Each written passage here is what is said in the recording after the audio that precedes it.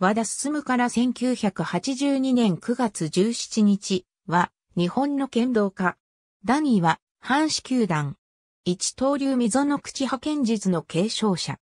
旧会津藩士、和田又四郎の子として、福島県会津若松市に生まれる。祖父、伊深拓右衛門は、戊辰戦争の際、切腹前の茅野長治から箸で一刀流、溝の口派を伝授された。明治維新後、伊深から又四郎に、又四郎から進むに受け継がれた。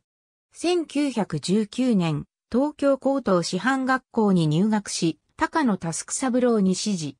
卒業後、石川県主範学校、金沢第四高校、府立第七中学校、工玉社中学校、若松商業高校、会津短期大学などで剣道を指導した。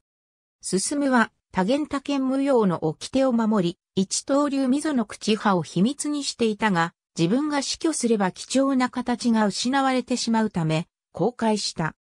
1968年、第14回全日本東西対抗剣道大会で初めて公開し、同年の全日本剣道選手権大会でも演舞した。公開時に覚えていたのは一部の形のみであったが、一刀流溝の口派が完全に失われる危機を免れた。前回津剣道連盟会長、会津竹則殿、師範、福島県剣道連盟副会長、全日本剣道連盟審議員を歴任し、1982年死去。去年84。ありがとうございます。